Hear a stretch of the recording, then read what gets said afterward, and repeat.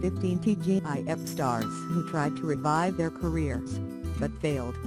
The 1990s was a generation that boasted some of the greatest television sitcoms of all time, and many feel that the quality of television shows has declined since the end of the decade.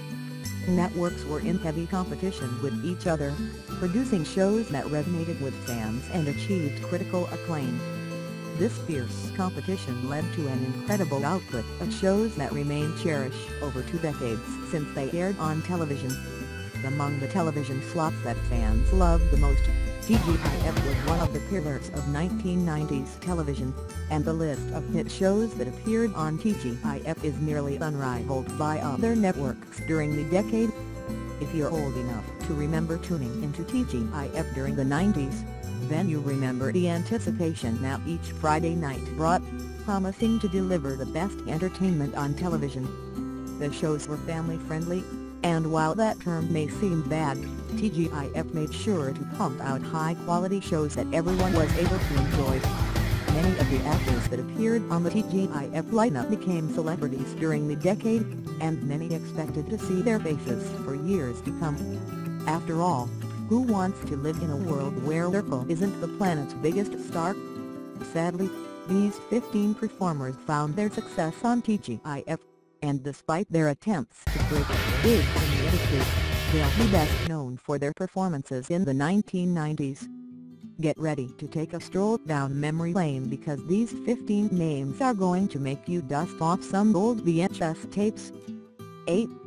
Trina McGee Much like the case of Maitland Ward, Trina McGee's character, Angela, was another character that was introduced in the latter part of Boy Meets World. Angela was the love interest of Shawn Hunter, and Trina ended up spending a total of 60 episodes on the series from 1997 to 2000. Angela was good friends with Topanga, and a lot of episodes centered around her and Shawn dealing with more serious issues for older audiences. After her time on Boy Meets World, Trina continued finding work on television, though her attempts at landing a role on a hit sitcom were for naught. She was able to land roles in several films, including the comedy Friday After Next. But Trina will always be best known for her time on Boy Meets World. Of course, being part of one of the greatest sitcoms in television history is quite the achievement. Much like Lee Norris and a slew of other former cast members, she's appeared on the revival series Girl Meets World, 9. Lee Norris One of the better components of Boy Meets World was its dedication to delivering characters we were all familiar with. And Lee Norris's character, Stuart Minkus, was a kid that we all went to school with. He was far too intelligent for his own good, and he seemed incredibly comfortable belittling Cory and Shawn for their antics. Norris was a main character who appeared in 22 episodes of the series. His time on Boy Meets World was relatively short-lived, but his character is one that many people still remember to this day. Interestingly, Lee Norris found his biggest career success on the series One Tree Hill in 2003, though most people remember that show for the actresses as opposed to the actors. Once One Tree Hill shut down shop in 2012, Lee Norris continued to act, but his appearances have been relegated to smaller roles. He did appear in five episodes of the revival series Girl Meets World, much to the delight of fans who grew up with the original series. 10. Orlando Brown There was once a period of time when Orlando Brown was a very popular actor.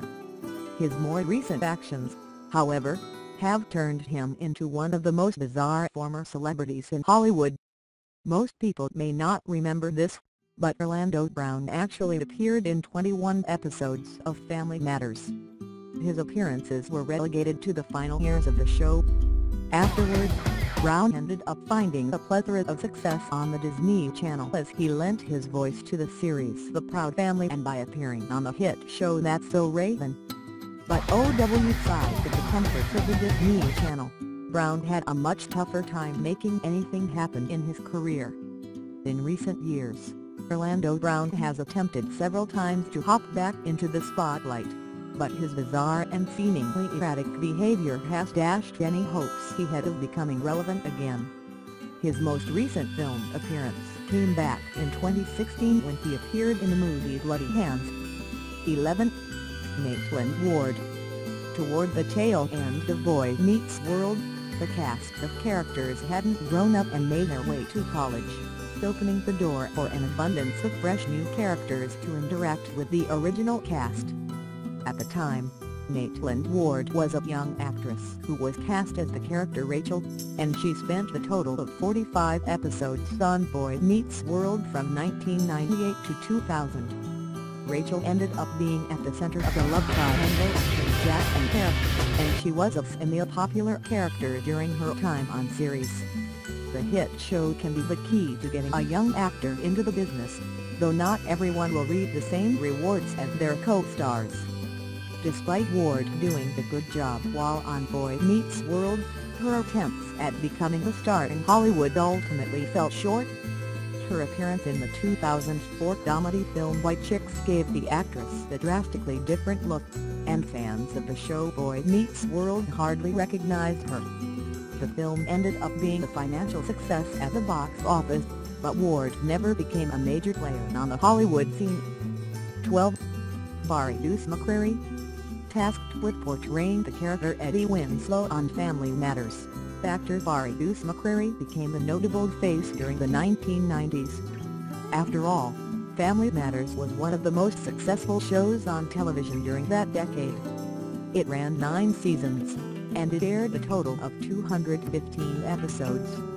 For McCrary, on Family Matters was the biggest success of his career and he went on to appear in all but seven episodes of the series. Once Family Matters reached its conclusion in 1998, McCrary continued to act in various projects, but they all fell short of the success of Family Matters. His biggest success always came on television, despite a number of attempts to break into the film industry. His biggest success after Family Matters came back in 2005 when he appeared on the series Committed. The show only lasted for one season, and NBC quickly pulled the plug on the project. 13.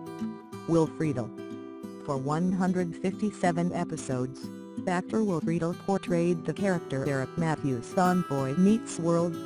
Eric was Cory's older brother, and his character's drastic change in personality throughout the series remains one of the biggest head-scratchers of the 1990s. In the early going, Eric was an incredibly handsome ladies' man who seemed more concerned with skirt chasing than being the good older brother. As the show progressed, Eric turned into a complete buffoon, and he was stripped of the charm he had in the show's earlier seasons. Despite his character's trajectory, Will did an incredible job with the character, and he seems poised to have a spectacular career in front of the camera. While Friedle found success in the entertainment industry, it all came from behind the camera. He never became the actor that many thought he would be. Instead, he focused more on lending his voice acting talents to various projects. 14. Ryder Strong Who didn't watch Boy Meets World back in the 1990s?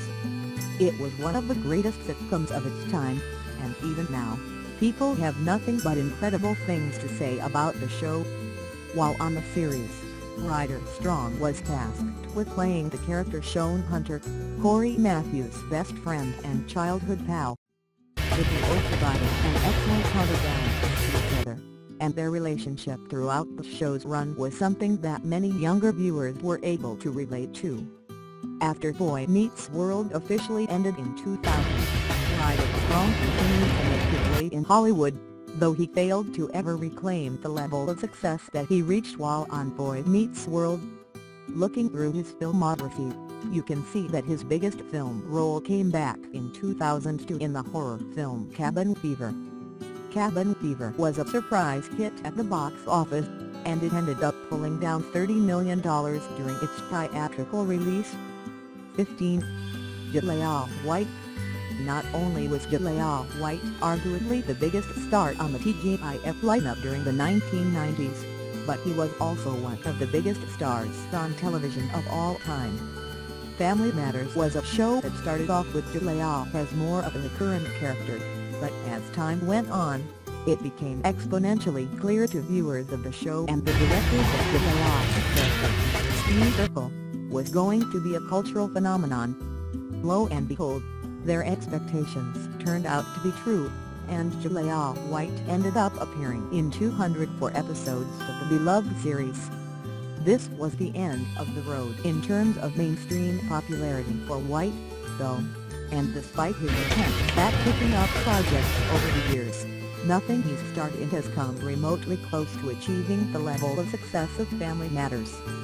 The closest that White ever got to reaching moderate level of success was hosting the series Total Blackout.